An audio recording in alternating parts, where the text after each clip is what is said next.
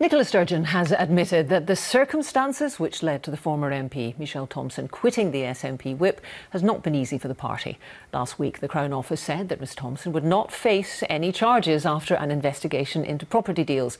She's called on the SNP leader to apologise for the way the situation was handled. Here's our political correspondent, Nick Eardley. A couple of years ago, they were colleagues on the campaign trail. But Michelle Thomson says Nicola Sturgeon didn't listen to her side of the story when a row broke out over property deals. Police had been investigating transactions linked to Ms Thomson's company. Prosecutors said last week there would be no criminal proceedings. And now Ms Thomson wants an apology. I would like her to help me understand some of the stresses and tensions she had at the time when it happened and what was behind her decision making. I don't believe it was done maliciously. I don't believe that for an instant. It could have been that, you know, she panicked. Nicola Sturgeon launching a scheme to encourage new female leaders. She'll support young carer Charlotte over the next 12 months.